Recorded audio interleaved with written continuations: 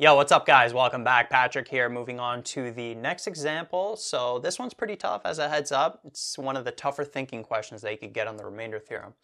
So if we take some kind of polynomial p of x, and if we divide it by x plus 1, the remainder is negative 8. When it's divided by x minus 3, the remainder is 4. And we have to find the remainder when that same polynomial, p of x, is divided by x squared minus 2x minus 3. Now, before we get into the technicalities, a couple of things I want to mention. This x squared minus 2x minus 3, notice that this factors into x minus 3, x plus 1, which we're given information about.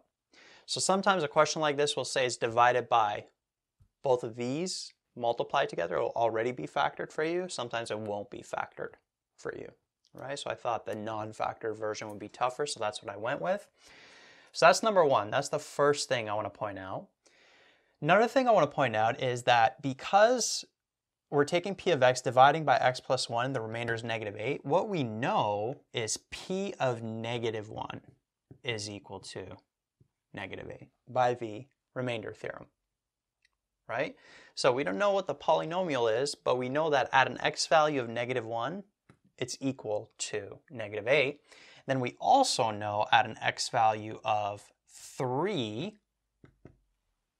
the remainder, uh, the polynomial is going to be 4, right? Because it's divided by x minus 3, the remainder is 4. That means p of 3 is equal to 4. Basically, these are from the remainder theorem. All right, so here's where stuff's going to get a little weird. I'm going to try my best to explain it here. Now, we got to rewrite the division statement so we know that what? A dividend equals a divisor times some kind of quotient plus the remainder. That's the division statement, right?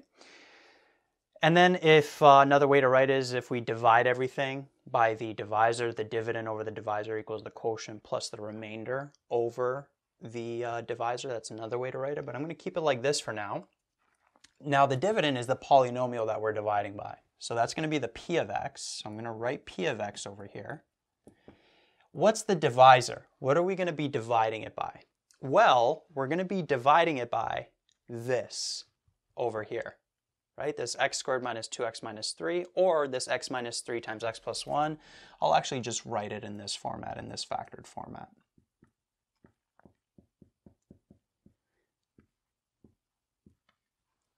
That's going to be the divisor.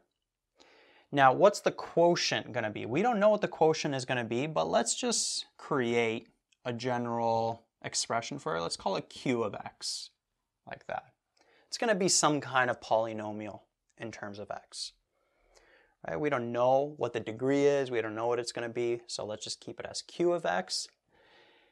And then um, what's the remainder going to be? Here's where it gets a little tricky.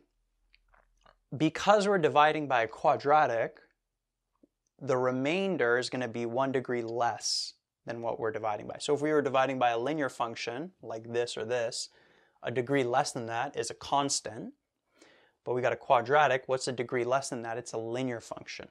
And so the remainder, we know it's going to be in ax plus b format. Or you could put mx plus b. It's going to be a line. I'm just going to put the a there instead. It's going to be ax plus b. That's going to be the format of the remainder when we take this polynomial and divide it by a quadratic. Right? So the remainder is actually going to be a line. It's going to be the equation of a line. All right, so we know this here. Now what? How do we find that a and b? That's basically what we got to find to find that uh, remainder, to find that uh, linear equation. Well, we can use this information here. Because we know when x is equal to negative 1, p of negative 1 is going to equal negative 8. So what we can do is we could plug in negative 1 for all the x values, and notice what's going to happen. We're going to have negative 1 minus 3, then we're going to have negative 1 plus 1. This is what's key. It's going to be 0 here, And then this, we don't know what it's going to be. Let's just call it q of 1 or q of negative 1 plus ax, or sorry, not ax, but we know we're dealing with an x value of negative 1, so we would plug in negative 1 for all the x's, like that. And we basically know that all of this, p of negative 1, is equal to negative 8. And so if you notice, what happens here? Well, this bracket goes to 0, which means all of this is going to go to 0 because this is going to be 0 multiplying by this and multiplying by that. So what are we going to be left with? We're going to be left with negative 8 equals negative a plus b. So basically all of this here is irrelevant. Right, so at an x value of negative 1, we plugged in negative 1 for all the x values. And we know that this p of negative 1 is negative 8. So we got negative 8 equals negative a plus b. Right, so let me rewrite that over here. So you probably see where this is going now, right? two unknowns. We got to make two equations. We already have one of the equations. The other equation we're going to get with P of 3 equaling 4. All right, so again, pretty unique question, pretty tricky question. Um, so if we follow the same process, if we plug in 3 for all the x's, notice that this bracket would go to 0, which would make all of this 0. And then if we plug in 3 for the x here, we'll have 3a plus b and then P of 3 we know is equal to 4. And that's pretty much it.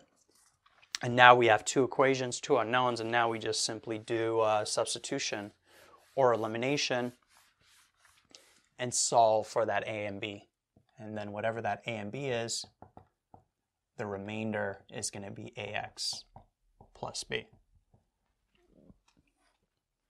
All right, so to do that, Let's maybe isolate for the b here, so we'll have 4 minus 3a. And then I'm going to plug in this for this b, so I'll have negative, a, uh, negative 8 equals negative a plus 4 minus 3a. Bring this over, negative 12, negative 4a. A is equal to 3. And then I could plug in this a value of 3 in either equation, solve for b. I'm going to plug it in here. So we'll have b equals 4 minus 3 times 3. Let me just make sure everything's all good here. Yeah, it looks fine to me. Right? So b is equal to negative 5. Like that. So the final remainder, 3x minus 5. That is the final answer to this question. So pretty tricky one. Be on the lookout for stuff like this. You got to make that division statement. Realize that the remainder is ax plus b. And then using that information where we knew that, um, I forget now, p of 3 was equal to 4, and then p of negative 1, I think it was, was equal to negative 8. Use that, make your two equations, and then solve for that a and b.